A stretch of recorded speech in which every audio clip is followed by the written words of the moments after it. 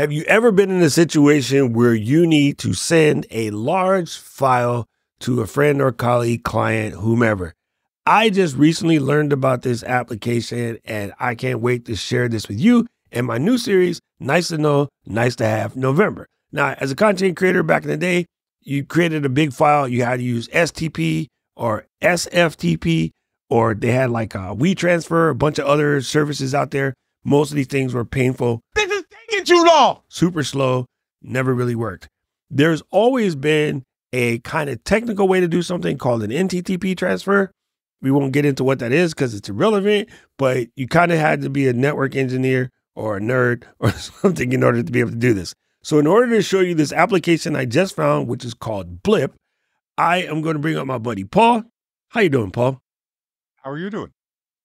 I'm doing good. Okay, so Paul and I are going to show you what it looks like to do something on Blip. Now, in order to achieve this, I am recording in Ecamm. I am going to bring this up and show you this file that I have on a desktop is roughly uh, just under 800 megs. If I right click on it and go down to services, there is something down here known as Blip. All I need to do is press that button and this little window pops up. This is my Blip window. And let me back out of here.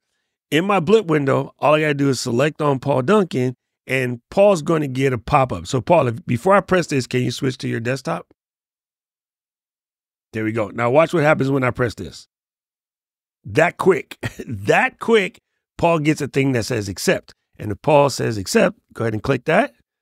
Boom. It tells you that at basically 19 megabits per second, it's moving. It's going to jump up to about 21. It might get to 30. I only have a 30 um, megabits per second upload pipe. It's technically 60, but there's always room for overhead.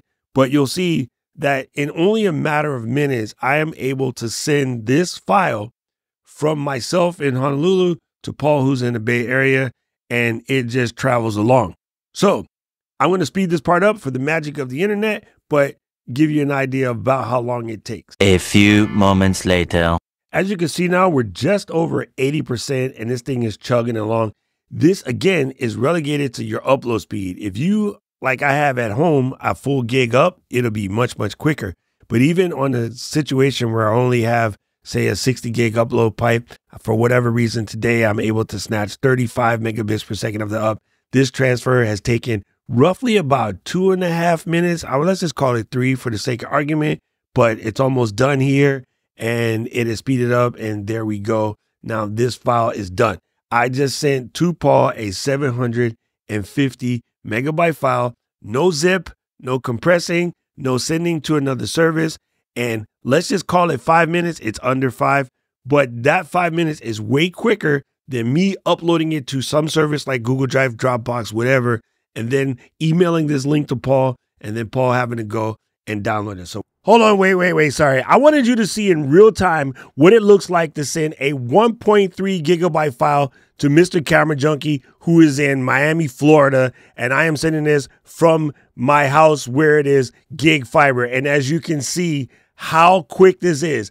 I sent him the file that we created earlier, the one we showed in this demo. It literally took a matter of seconds. So I said, hey, let me send him another one. This one is 1.3 gigs. And look how fast this file is going. And as you can see, it is almost done in real time. Blip is the absolute truth. So Editor Doc had to jump in and show you. Nice. So once I say I'm done, that's going to disappear. Paul, if you could open the file and show them that the file works. it opens up in Apple TV. but look, there's a video. The full quality is there. By the way, that was a 4K video file, just so that you understand what's going on. That, my friends, was a 4K video file. That was Blip, and you can find out more about Blip at blip.net. It is hands down the fastest way to send files to anybody that you need to send files to, especially large files. And I just like the fact that you don't have to compress them, you don't have to zip, you don't have to do anything crazy like that. In fact, it could even send the whole folder. So if you have a folder with a bunch of stuff in it and you need to send it to somebody, you just put that on your desktop, right click on it, and say. So I'm going to do this real quick just to show you. I'm going to come over back into Ecamm, right click on this. I'll go to services, blip, and I just select on Paul's name. And now I just send in this entire folder of gift files to Paul once Paul accepts it. And this has, let's see, 150 files in it. So Paul is accepting this file. It's 150 megabytes, and that's sitting over to Paul right now. So just this goes to show you how fast you can send these items to anybody that you deal with, your editors, your friends, your clients, uh, friends and family. You just did a vacation, took a bunch of pictures. That's all you got to do. So this is another edition of Nice to Know, Nice to Have November. This is one of those tools I wish I had when I first started creating because, oh my God, sending things through FTP and Dropbox, super painful. So thanks again to my buddy Paul, Mr. Moderator himself. Say bye, Paul. Hi, Paul. nice to know, nice to have November has been sponsored by me. I'm Doc Rock. I am the inventor of Doc Popps, and that are these wonderful, cool, high color, good sounding pop filters for your microphone, like the one I have here on my SM7B.